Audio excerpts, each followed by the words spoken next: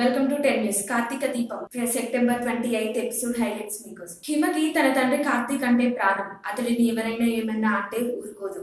తిన్నాడో లేదని గమనించుకుంటూనే ఉంటుంది. అయితే కార్తీక్ పట్ల సౌందర్య ప్రవర్తన ఈ మధ్య హిమ రివర్స్ ప్రశ్నలు వేస్తూ ఉంది. ఎందుకు మా డాడీని పట్టించుకోవట్లేదు? నానమ్మ నువ్వు అని చాలా సార్లు అడిగేది. కానీ ఈ రోజు ఆ గొడవ కాస్త పెరిగి పెద్దయింది. ఆనందరావు ఆదిత్యలు భోజనాన్ని కూర్చొని సౌందర్య కోసం ఎదురు చూస్తూ ఉంటారు. హిమని తీసుకొని వచ్చిన సౌందర్య కూర్చోండి వడ్డిస్తాను అంటూ లోపలికి వెళ్తుంది. ఆనందరావుకి ఆదిత్యకి ప్రేమగా వాళ్ళకి కావలసినవన్నీ వడ్డిస్తూ ఉంటుంది.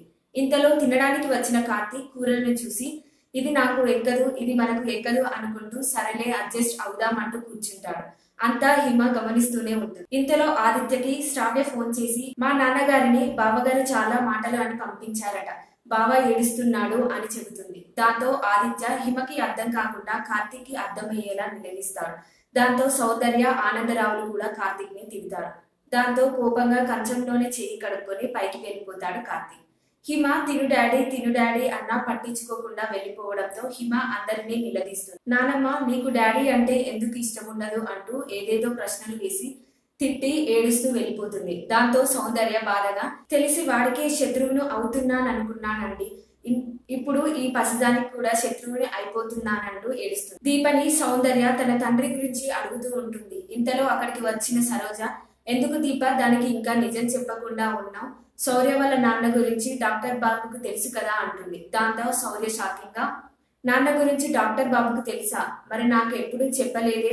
ఆయన్నే అడుగుతాను అంటుంది. పని ఉందని సరోజ వెళ్ళిపోవడంతో దీప అయోమయంగా శౌర్య వైపు చూస్తూ శౌర్య ప్రశ్నలు వేయడం ఆపకపోవడంతో నా కర్మ అని అక్కడి నుండి వెళ్ళి సౌందర్య కార్తీక్ భోజనం పైకి తీసుకొని వెళ్ళి రే తినరా ప్లీజ్? నన్ను ఇంకా బాధ పెట్టకు. నీకు నా మనసేంటో అర్థం కాకపోతే ఈ ప్రపంచంలో ఎవరికీ అర్థం కాదురా? నువ్వైనా నన్ను అర్థం చేసుకో అంటుంది బాధగా. అప్పుడే వాష్రూమ్ నుంచి వచ్చిన హిమ ఈ భోజనాన్ని చూసి ఎందుకొచ్చావు నానమ్మ? నేను పెడతానులే రేపటి నుంచి భోజనం. నువ్వు వెళ్ళి తాతయ్య బాబాయ్ల సంగతి చూసుకో అంటూ తిట్టి పంపించేస్తుంది. తల్లి ఏడిస్తూ వెళ్ళిపోతున్న కార్తీక్ హిమ ముందు ఆపలేకపోతాడు.